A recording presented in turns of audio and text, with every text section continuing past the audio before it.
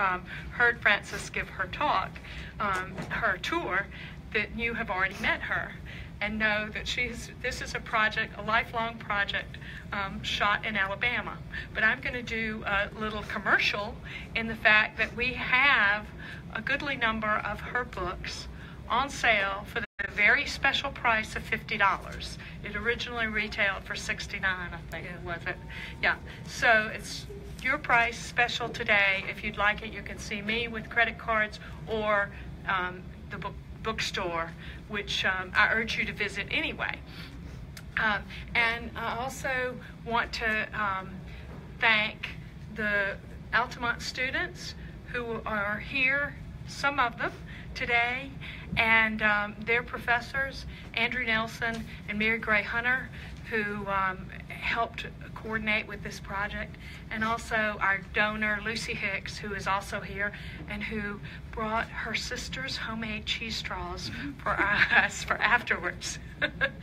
I think Frances really doesn't need any um, more introduction other than say she's a Birminghamian. This is her library, and we are very happy to welcome her here this afternoon.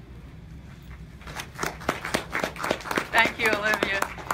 I want to give a special thanks to the library staff, a lot of whom are sort of invisible at this meeting, but who are very, very important in putting on this display.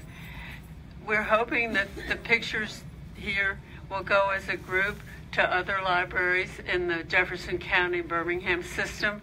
And if you have any connection with a library that's not this main library, where you you think the pictures would be appropriate, let us know about it and we'll make arrangements for it to come to you.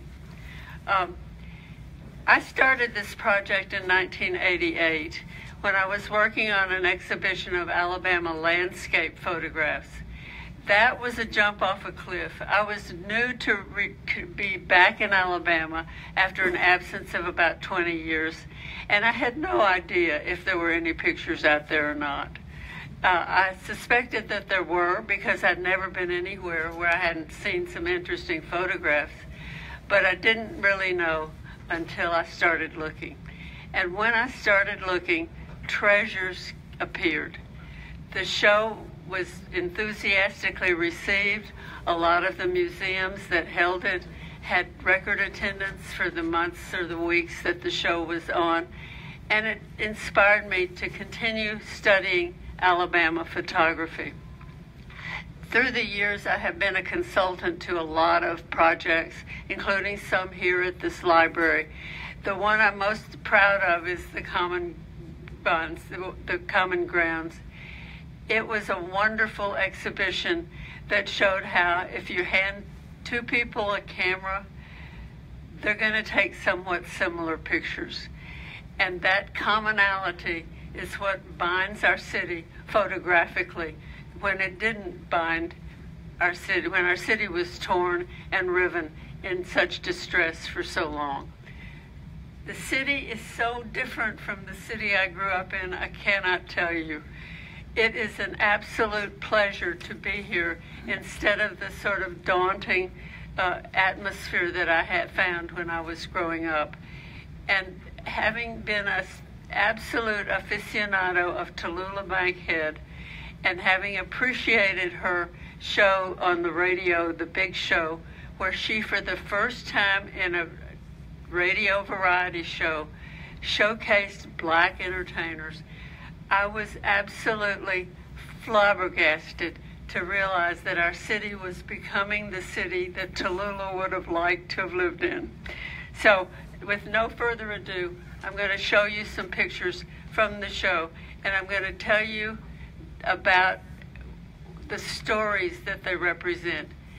Pictures do not live without words, and being able to put a title on a picture, to be able to put a number date on it, all of that stuff that librarians call metadata, to me that's subject matter, and it is the beginning of a story being told.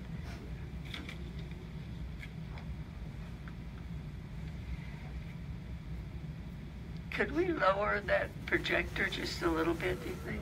Yeah. Um, this is the cover of my book, and it does not show Birmingham. Too bad. It shows the city at the eastern edge of the Birmingham Industrial District.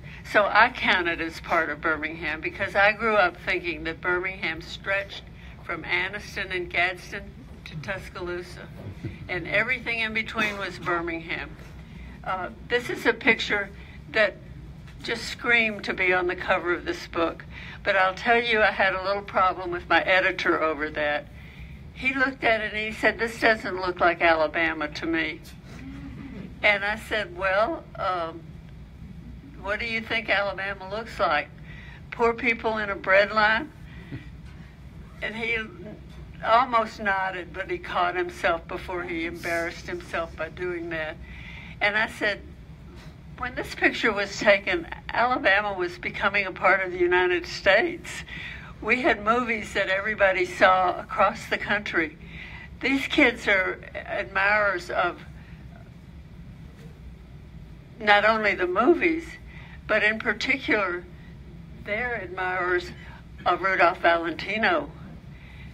And on top of that, they realize their dreams in a way that wouldn't have been possible a generation earlier. Charlotte became a housewife, which was what she wanted to be. Her brother Frank took himself off to New York, having saved enough money to live there for six months. He learned how to be a ballroom dancing teacher. Are we surprised? And came back to Anniston to teach ballroom dancing for more than 50 years. When I first started giving talks for the Alabama Humanities Foundation, I would give an occasional talk in East Alabama. And when I showed this picture, people would leap up out of the audience and say, I studied dancing with him. I can do the tango. and there is a continuity that photography brings to our experience that I delight in. I think that Charlotte has taken her uh, scarf or shawl right off the player piano in the living room. That is a player piano shawl if I ever saw one. And there are many details in this picture that show us that these people are living a fantasy. For Frank, it comes true. Now, by the time Birmingham uh, was founded, photography was already a, a bit old. It had come to America in the 1830s, and by the time that Birmingham was founded, pictures like this one, these two, cased photographs, one of a kinds, were obsolete. Birmingham was born at a time when paper prints were the photographs of desire, and that lasted until the year 2000 when digital photographs overwhelmed paper prints in popularity.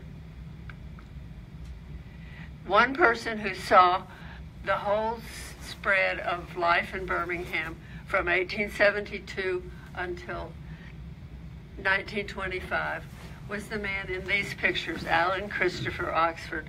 I'm right now writing a monograph about him because he was Birmingham's first resident photographer and he had opportunities because of the new city uh, that no one else in Alabama had. Uh, next, please. Oh, I'm doing it. Sorry. um, for the Philadelphia Centennial in 1876, Oxford was asked to send photographs for exhibit there, and I believe that this photograph must have been one of the ones on display. It shows uh, the ironworks at Ironton. Ironton is Oxmoor. So if you've ever been on Oxmoor Road or seen that exit driving past, that's where these works were, on the south side of the mountain. These are among the earliest industrial photographs made in the state, and they're made by a person who was consummate composer of pictures.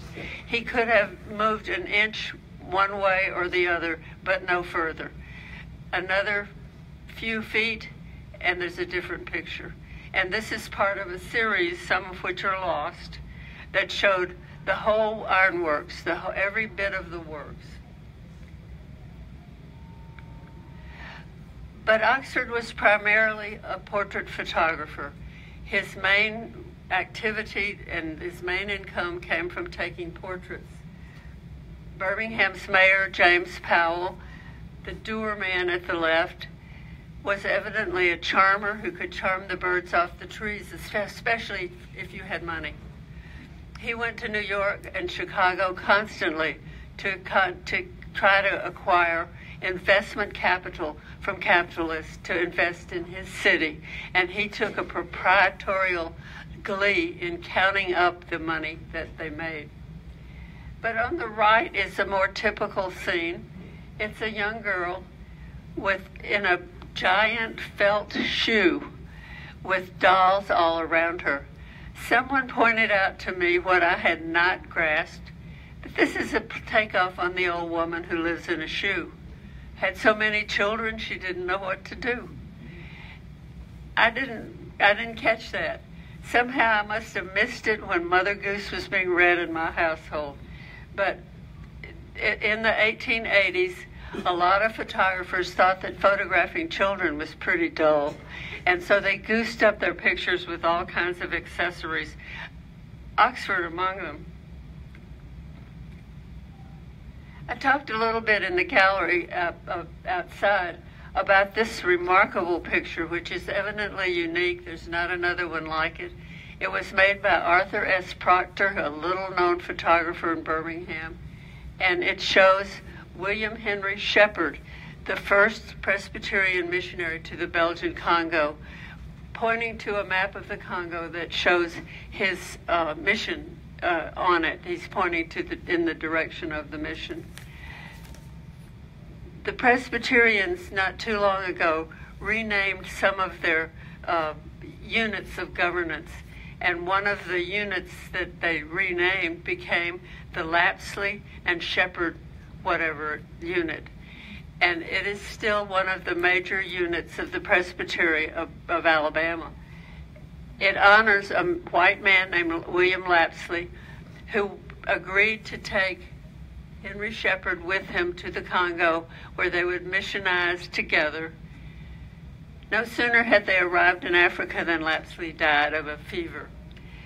And Sheppard was left alone to found the mission, to bring it to glory, and to campaign relentlessly against the Emperor of the Belgians for uh, assaulting, uh, persecuting, and killing hundreds of thousands of black rubber workers. His, he made an international campaign of this and was very successful at it. At the end of his first 10 years in the Congo, he came back to the States to raise money to return and to also to marry his long awaited fiancee who had waited patiently for 10 years for him to come back. And then they went together to the Congo. While Sheppard was in the Congo, he rediscovered some major geographical features that had been lost since Arab times and was awarded membership in the Royal Geographic Society of London. He met Queen Victoria because of that, and I bet this frock coat was purchased in order to have that royal meeting. He came back to the United States a little bit horrified at conditions here the color line had gone, grown even stronger while he was away. And when he came back, he would oftentimes find himself having dinner with rich uh, Americans who would be seated, sitting in a, a, table with a long stretched out uh, into the dining room, chairs all around it, and pushed against a window. On the other side of the window, a small table would accommodate Mr. Sheppard alone. So he was with the party, but he was not actually in the room with the other white people. So he did not like this. He preferred the freedom of Africa for all its poverty and all of its difficulties. He had the picture made without any question because he was in Alabama and probably had run out of publicity pictures. Uh, celebrities sold these pictures after their lectures in order to make extra money. They usually sold for a dollar or two, and he would save all that money. And he probably ordered a hundred or two hundred from Mr. Proctor. The other thing that's remarkable about Henry Sheppard is that his is one of the three earliest ethnographical collections of the Congo, of Congo artifacts ever. That's it. There are three. The other two were accumulated by white, white, excuse me, white explorers. His was accumulated by a missionary servicing the people who brought him things to keep. Most of his collection is now at Hampton University in Virginia, which he attended. He also attended theological school in Tuscaloosa at what is now Stillman College. Uh, so I was touched by the Tuscaloosa connection and had the opportunity to give my copy of this picture, which is, uh, to my knowledge, unique, to Hoole Special Collections at the university because Stillman had no capacity for taking care of pictures like this. Uh, they're evidently free to borrow it whenever they like. Black people entered the photographic record in Alabama in slavery days when an occasional white owner would have pictures made of his dependents, his white dependents, his wife and children, and his black dependents, his slaves. Um, but by the 1880s, blacks were moving into photography as they accumulated more income, more disposable income. They were free to, to, use that disposable income however they wished, and slowly they enter the photographic record. This photograph was made by James M. Bird, who James Bird was, to my knowledge, the earliest photographer to run a business of photography in Alabama. And he ran it for more than 20 years here in Alabama, here in Birmingham. He would not have been able to do that if, if Birmingham had not had such a vicious color bar that compelled black businesses to be established to service black consumers who did not want to to support white businesses. And so James N. Bird owes his uh, longevity to a great deal of being in the right place at the right time. This elderly man is undoubtedly one of the more important to members of the black community of Birmingham, someone who's being honored by a photograph.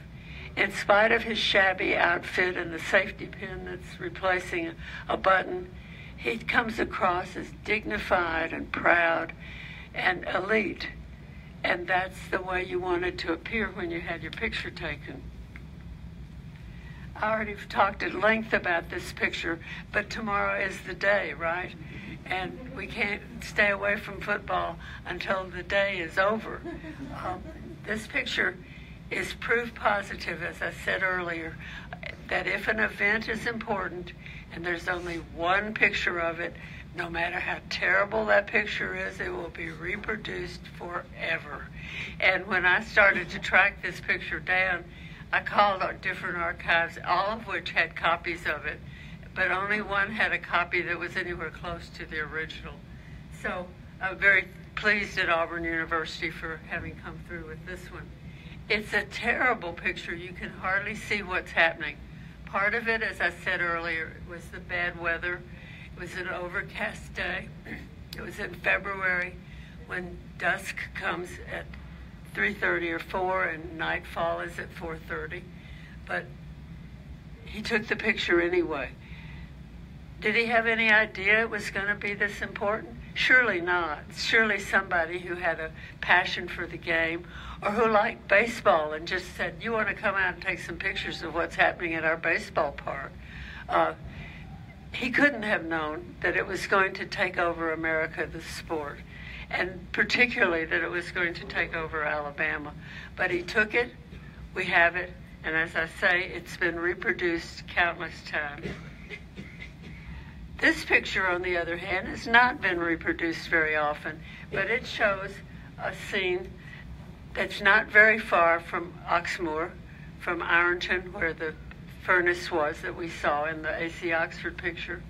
This picture was taken by our second state geologist, Eugene Allen Smith, who roamed the state at three miles an hour in a Studebaker wagon, uh, taking pictures and writing down information about Alabama's geology. He realized, as did most of the industrialists of Alabama, that Alabama was only going to recover from the Civil War and Reconstruction if it pulled itself up by its own bootstraps. And in Birmingham's case, the bootstrap was the mineral wealth of this valley. This is Spalding Mine.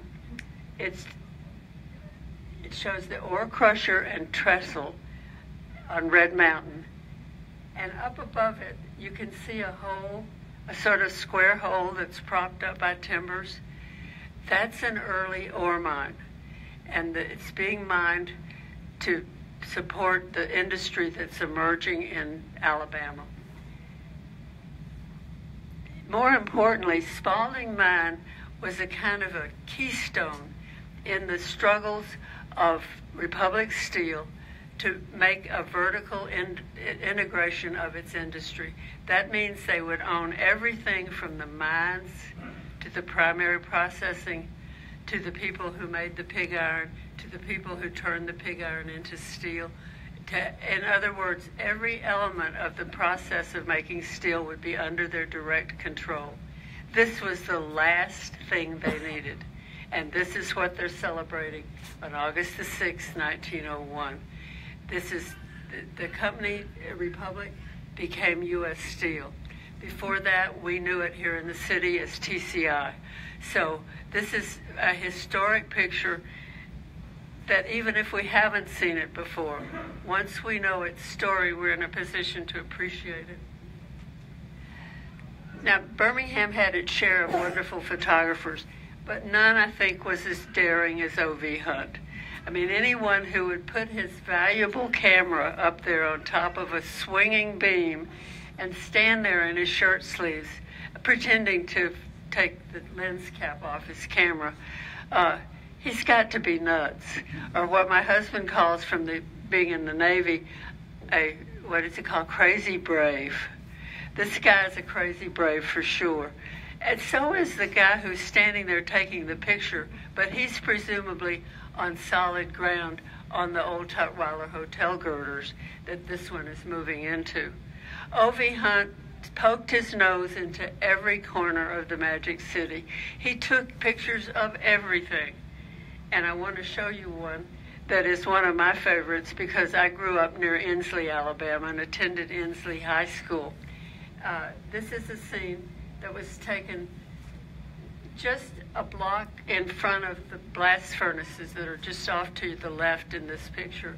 And it shows trolley car 216 rounding the corner, heading towards Tuxedo Junction, the site of much wonderful music the details of the picture are not always visible in this kind of light, but I want to draw your attention to the posters that are on the sidewalk, the sidewalk signs.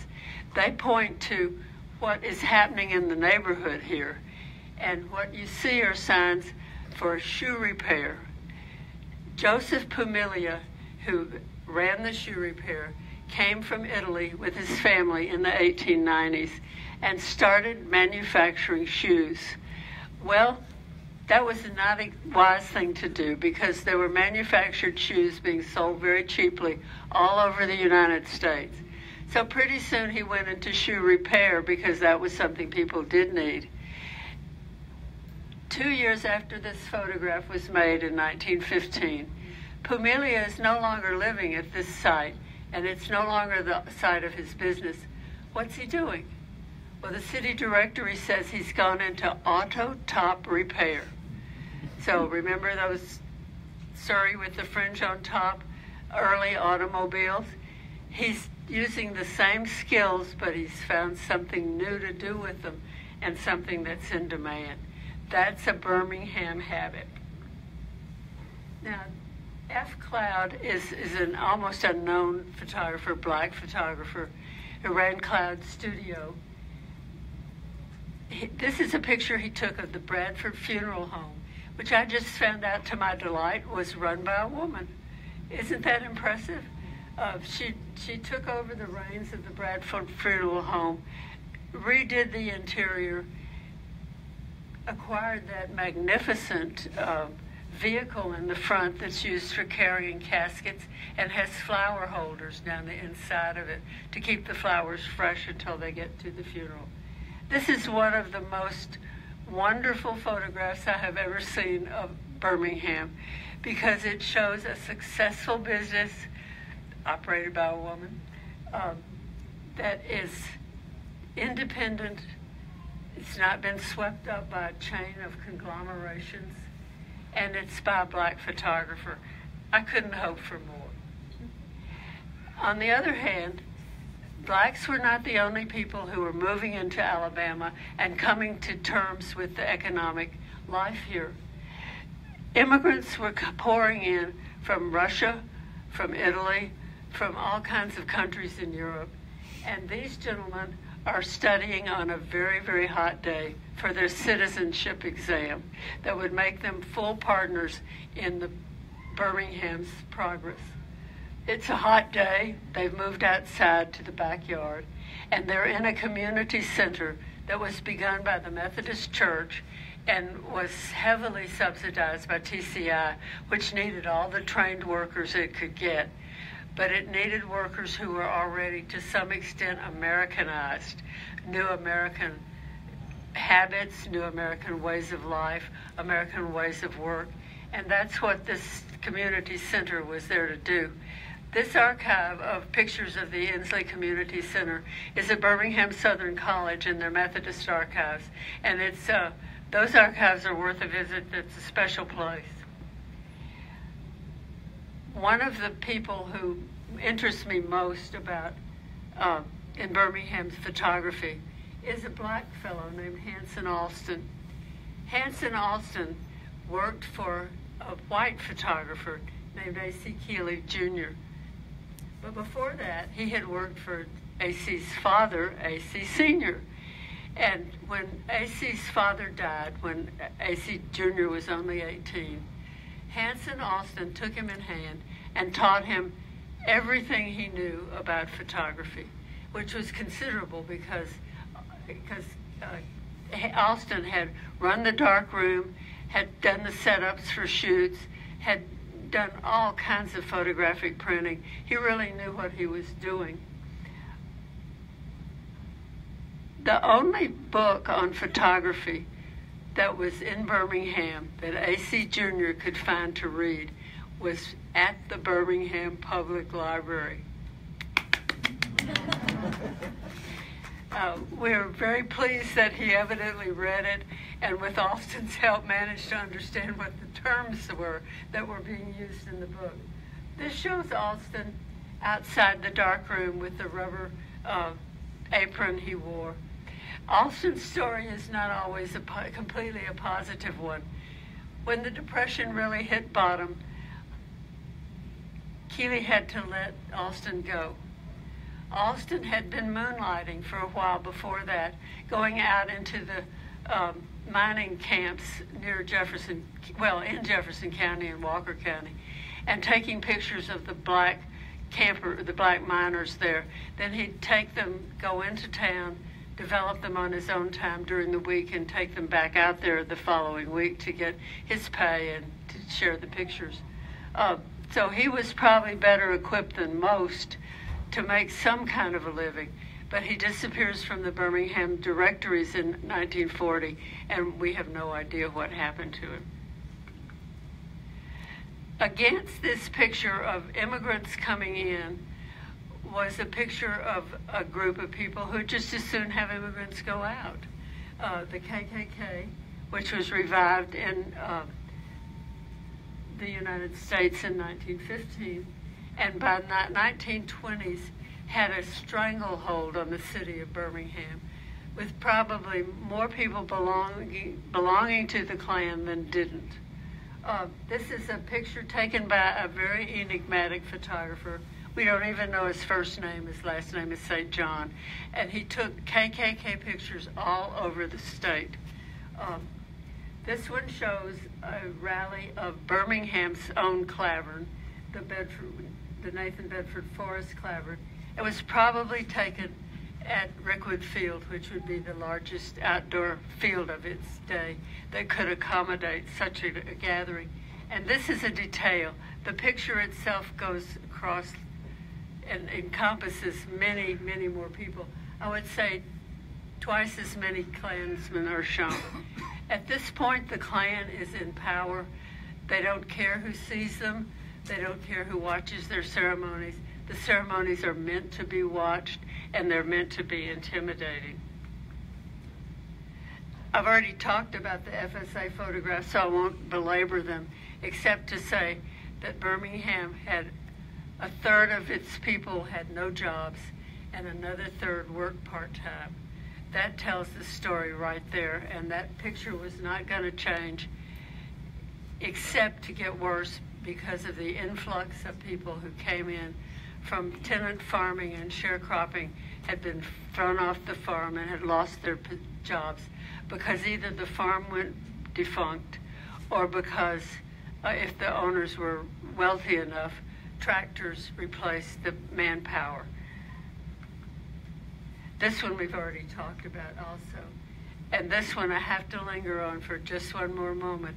This was taken on 25th Street, just over there, where the projects were for so many years that replaced these derelict slums. Peter Sekaer was escaping from an unhappy family when he migrated to the United States. He, he and Walker Evans became friends, and Walker Evans left Peter in New York to finish printing up a portfolio of prints for the Museum of Modern Art while Walker Evans made his first trip south. Uh, they remained friends, and Peter Sekaer later joined Walker Evans, and they toured through some of the South, including Alabama. Took remarkable pictures in, in Anniston, and then this breathtaking one of two women on a porch, a modern Martha and Mary. Uh, one of them doing the labor, the other one reading the Birmingham News. Snapshots are one of my favorite things to look at. And this little girl running toward the photographer has to be special. Uh, snapshots are taken in the moment. They're not posed, they're not sorted out, they're not cleaned up. They're just shot by somebody who is interested in being there and in showing someone else what it's like to be there. This little girl is running toward the photographer not a studio photographer that she's never met before, but someone she's intimately familiar with. And even better, the scene is taking place in a yard. It's not taking place in a studio, but it's taking place in a location where most Birmingham families spent their leisure time. Uh, wonderful picture. This one is very touching. Both of these come from the um, the Birmingham Public Library archives and were part of the Common Grounds Bonds, the Common Bonds show. Uh, I was fortunate enough to be able to hang around in Kibitz while the picture selection was made for the exhibition. The pictures were all wonderful. It's just that a few were more wonderful than others, and they're the ones that made it to the exhibition, which was, in my view, a showstopper and a never before, all at once. Uh, this picture was taken for a GI who was overseas fighting the war. He was afraid he might not get home to have a picture of his mother. There weren't any pictures because there weren't any cameras in his neighborhood. And it was very common in most Birmingham neighborhoods. There were no cameras until the 1950s. This is anecdotal, but I've talked to everybody I know and they all say, "Oh no, we didn't get a camera till oh somebody brought one home from the war." Uh, in the 1950s, we were better off, so we could afford to buy Brownie. Um, this picture was taken with a camera that was bought for the purpose of taking this picture, and then shared with the Birmingham Public Library. It's it's just a picture, and at the same time, the story it tells is very rich. Now, this is me. I'm there on the left, the little girl that's grinning. And my sister, who's looking up, waiting for Santa Claus to come, is my older sister. We're taken here in the first full year of the war uh, in our um, V for Victory outfits with our V for Victory sign. we were wearing red, white, and blue sweaters knitted by my Aunt Dee Dee. And we are holding a V for Victory sign that has ivy, or has, excuse me, holly on it from our holly bushes that was appli- appliqued to it by my Aunt Dee Dee. She wanted us to be patriotic. My parents agreed that that was the right tone to set for a Christmas card. Before that, we had held wreaths and candles and all that kind of Christmassy stuff. But this, my aunt felt, called for something special. So this picture is now with others like it from the, I have a whole series of these pictures. It's now at the State Archives where uh, I'm hoping that somebody enjoys looking at these little girls come Christmas. Now, there are still things that I would like to know about Alabama photography and about Birmingham photography. Um, I've only scratched the surface. I only know 200,000 photographs. I don't know what really is out there, but I know that I have only scratched the surface. But there are questions that are in my mind that I ponder. One of them is who put the baby in the punch bowl? That's it. Thank you.